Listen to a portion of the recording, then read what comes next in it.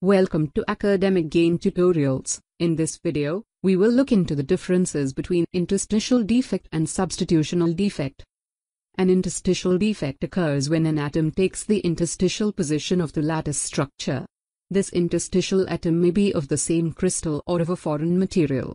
Accordingly, interstitial defect can be of two types.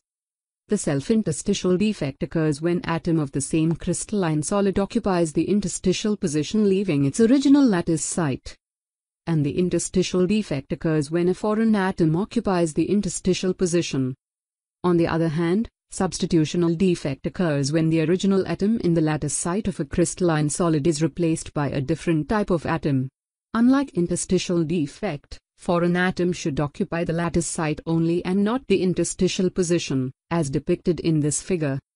So, let's look into the basic differences between interstitial defect and substitutional defect in a tabular form.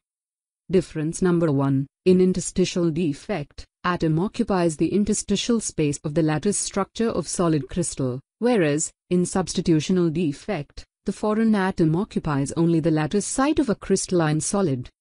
Number 2. Interstitial defect may occur by the atoms of either same solid, called self-interstitial, or foreign material, whereas, substitutional defect is always caused by foreign atoms. Number 3. Usually the interstitial atom is larger in size as compared to the space available in the interstitial position, so the neighboring atoms remain under compression, whereas, substitutional atom can be either larger or smaller as compared to the original atom of the solid crystal so the neighboring atoms can be either under tension, when foreign atom is smaller, or under compression, when foreign atom is larger.